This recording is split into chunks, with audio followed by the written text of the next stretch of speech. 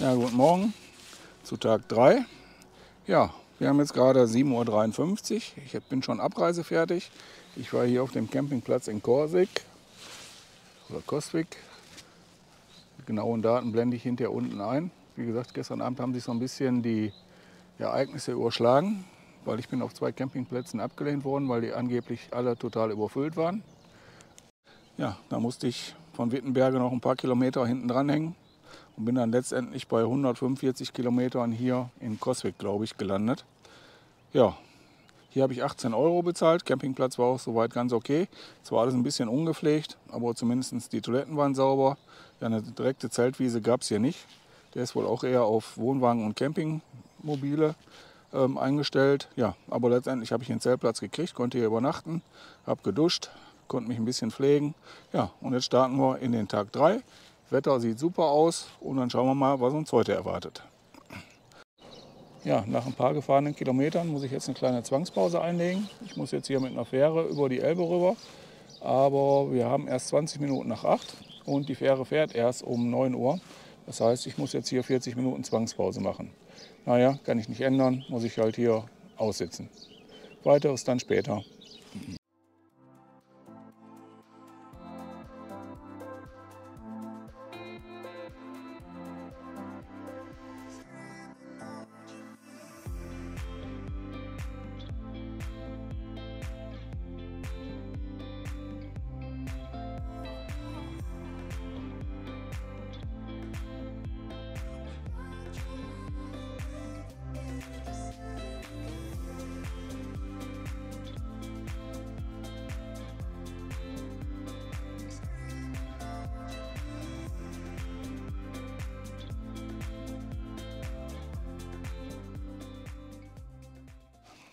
Ja, wir haben jetzt 20 Minuten nach 9.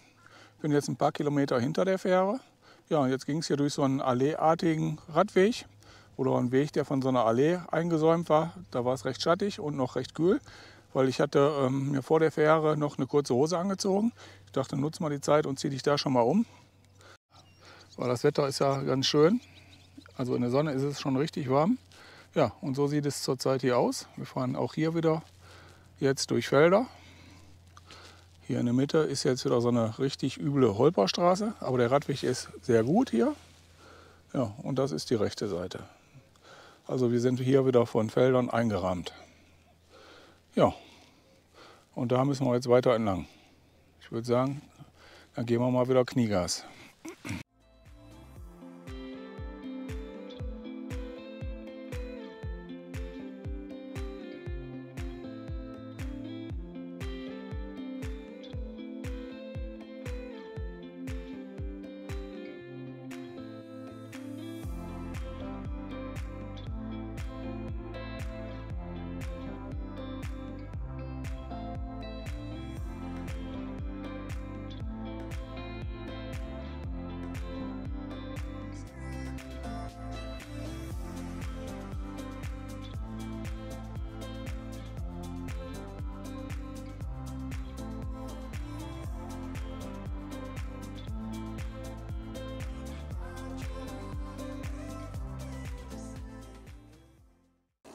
Aber ich weiß im Moment nicht, wie ich das beschreiben soll. Einfach wunderschön. Geht schon Kilometer lang. Jetzt einem ganz, ganz tollen Teilstück hier entlang. Immer direkt an der Elbe. Links und rechts blühen so kleine Blümchen. Oder dann kommt wieder eine Passage, die wie eine Allee ist. Also einfach wunderschön.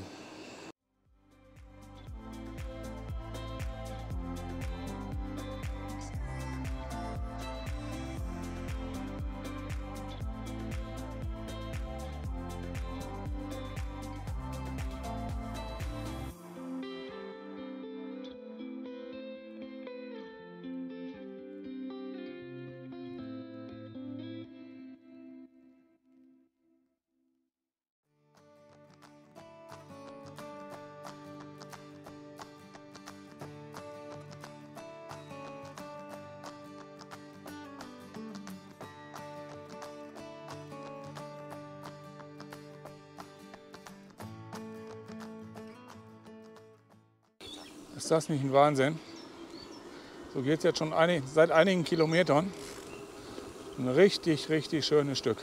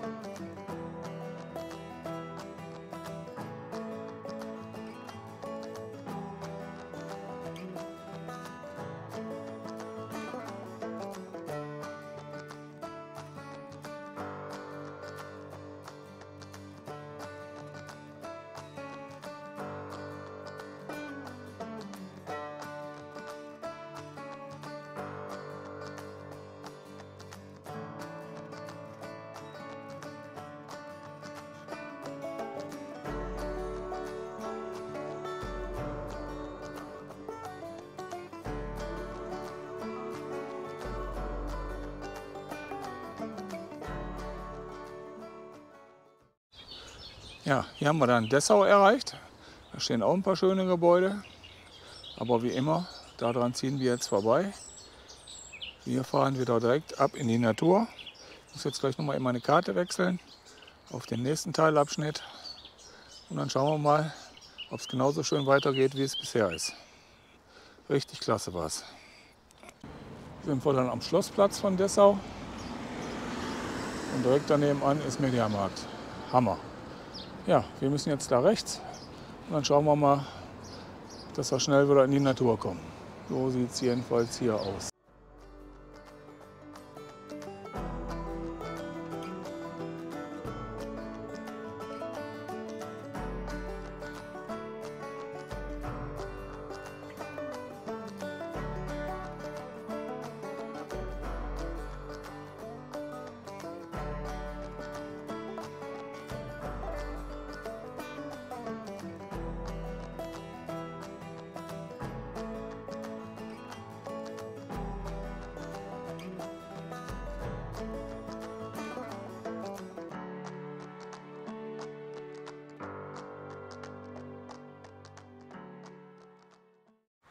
Ja, wir haben jetzt halb zwölf und ich habe jetzt genau 39 Kilometer runter.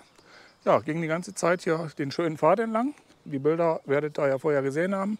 Ja, und jetzt habe ich hier diese schöne Schutzhütte gefunden.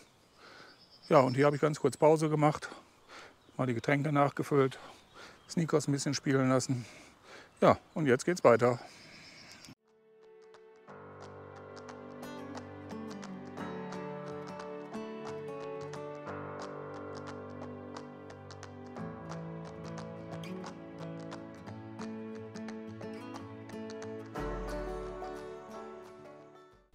Jetzt hatten wir gerade mal einen Abschnitt, da ging es so sechs, sieben Kilometer an einer gut befahrenen Landstraße entlang. Ja, da war es halt wirklich nicht schön zu fahren, aber davon sind wir jetzt wieder weg und dafür haben wir dann wieder so einen tollen Ausblick hier. Ja, schauen wir mal, wo es uns als nächstes hinbringt.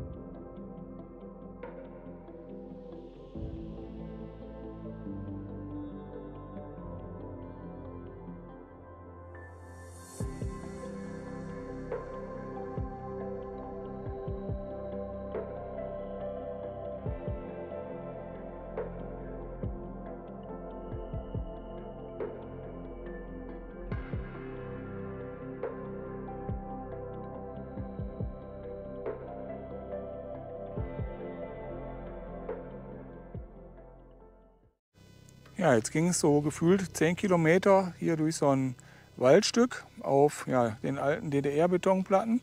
War aber sehr gut zu fahren, aber auf Dauer wurde es ein bisschen langweilig und zermürbend, weil es nur stur geradeaus ging. Ja, jetzt stehen wir hier an so einer Landstraße und in die Richtung muss ich jetzt. Mal sehen, wie lange es jetzt auf der Straße entlang geht. Ich würde nämlich jetzt irgendwann mal gerne irgendwo einen Café antreffen oder so, wo man sich mal eine halbe Stunde hinsetzen kann, um einen Kaffee zu trinken. Das ist heute ein bisschen rar auf der Strecke. Naja, schauen wir mal, ob da gleich was kommt.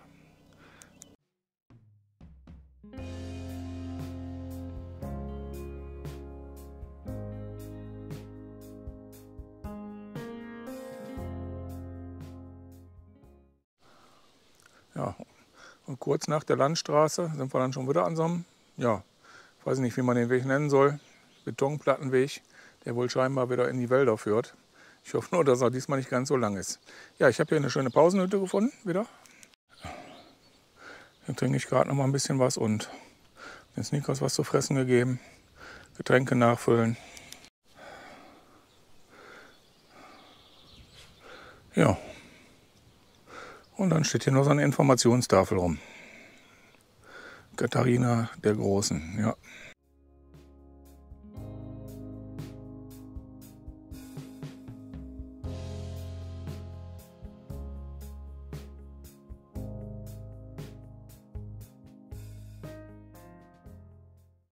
Ja, hier wäre auch so ein Highlight für Leute, die sich gerne so alte Gebäude und so weiter angucken. Hier steht noch so eine alte Burg mit ja, einer restaurierten Burgmauer. Ja, ansonsten ist es im Moment sehr beschwerlich. Ich drehe nochmal die Kamera so ein bisschen. Ähm, es geht im Moment hauptsächlich hier über diese Kopfsteinpflasterwege und die schaffen mich echt total. Also da wirst du mit dem Anhänger so durchgeschüttelt. Da macht das Fahren drauf überhaupt keinen Spaß.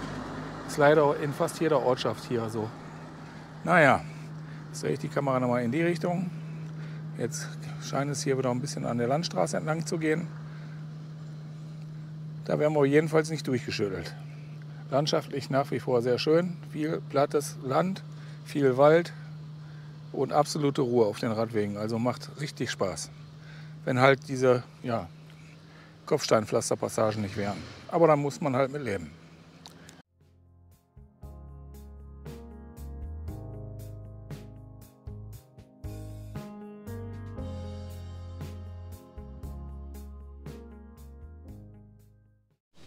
Ja, jetzt haben wir 67 Kilometer auf dem Tacho und 13.30 Uhr. Und jetzt muss ich hier ja, wieder mit der nächsten Fähre übersetzen. Ich denke mal Barbie oder so ähnlich heißt der nächste Ort. Mal schauen.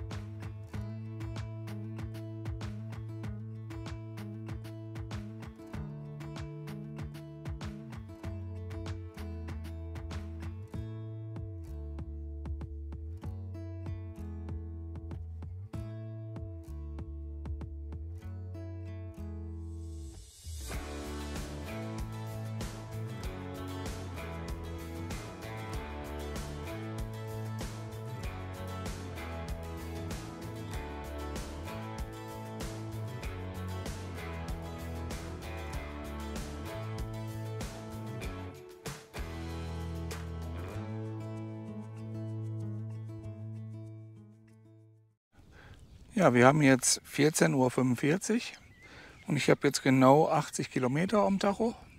Ja, und jetzt sind wir hier mal wieder am Elbteich angekommen. Nach endlosen Durchfahrten von ja, kleineren Dörfern und Landstraßen. Ja, und jetzt sind wir wieder mitten in der Natur, so wie ich es am liebsten habe. Hoffentlich sind es jetzt mal ein paar Kilometer wieder hier am Deich. Dann geben wir mal Stoff. Einfach unbeschreiblich schön.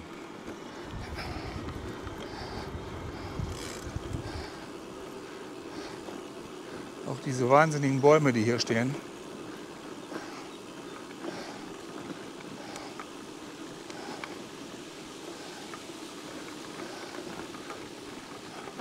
Ich glaube, das entlohnt für die körperlichen Qualen, die man auf seiner Radreise durchstehen muss.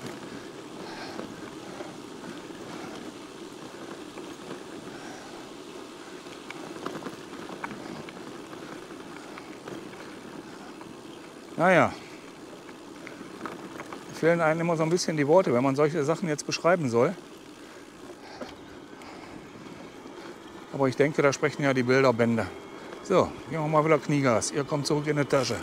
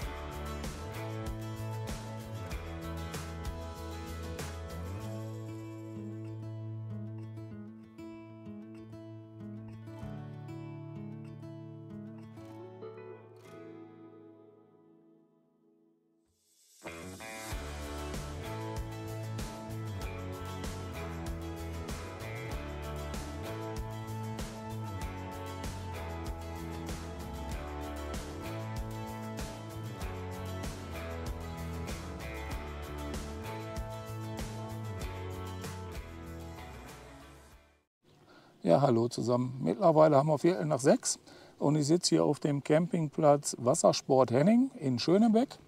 Ja, ich habe die Tour nach 90,7 Kilometer heute hier beendet und habe es auch hier ganz gut angetroffen. Hier auf dem Campingplatz hat man eigentlich alles, was man braucht. Hier stehen für Radreisende oder für Zelter generell jeweils ähm, Tisch-Bank-Kombinationen und ein paar einzelne Bänke. Ja, Stromkasten ist direkt auf der Zeltwiese. Man kann hier direkt an der Elbe zelten. Und ähm, Sanitärhaus ist auch nicht weit weg. Also damit habe ich es ganz gut angetroffen. Ich werde jetzt gleich hier mal das Areal filmen und hänge es dann wie immer hinten dran. Ja, dann kommen wir noch mal zum Tourverlauf oder zu dem Gesamttag. Ja, ich denke, ihr habt die Bilder gesehen, da brauche ich nicht mehr allzu viel zu sagen. War eigentlich ein überragender Tag. Vor allen Dingen der erste Teil des Tages von Koswig bis nach Dessau, der war einfach super. Da habe ich wirklich teilweise gedacht, ich fahre durchs Paradies, so schön war es da. Ja, kann ich nur jedem raten, fahrt den Weg mal selber. Ähm, das muss man eigentlich gesehen haben. Ja, der zweite Teil ist dann so ein bisschen abgeflacht. Ähm, da ging es halt sehr viel durch diese kleinen Dörfer und da war das Fahren einfach eklig. Das Kopfsteinpflaster, boah, das macht ein Leben wirklich zur Hölle. Naja, aber da will ich nicht drüber meckern. Ja, wie gesagt, dann bin ich gegen 16 Uhr, glaube ich, war ich schon hier am Campingplatz, habe dann alles in Ruhe aufgebaut. Habe hier auch noch zwei andere nette Radreisende kennengelernt, mit denen ich jetzt gleich noch zusammen eine Tasse Kaffee trinke. Und dann lasse ich den Tag auch ganz in Ruhe ausklingen. Ja, das soll es für heute gewesen sein. Ich hoffe, ihr schaut auch ins nächste Video rein. Mal gucken, wo es uns morgen hin verschlägt. Auch da ist nichts geplant. Auch da werde ich einfach in den Tag hineinleben, beziehungsweise einfach in den Tag hineinfahren und gucken, was uns da erwartet. Ja, wie gesagt, ich filme jetzt hier nochmal den Camp äh, Zeltplatz ab und hänge die Bilder dann hinten dran. Bis dann, tschüss.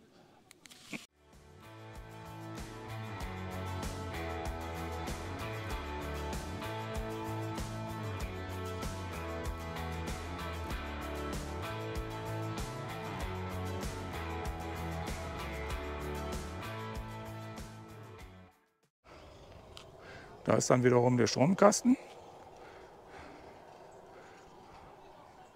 Und dann steht hier mein Zelt.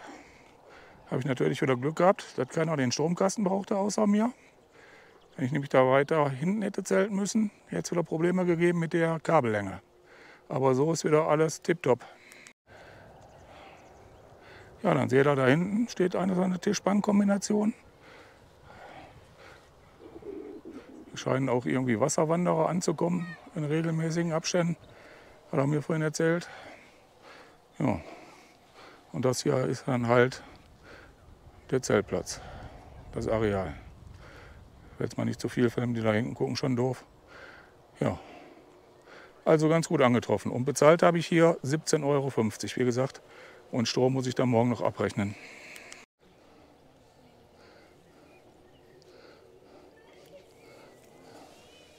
Und er ist auch mit. Ha?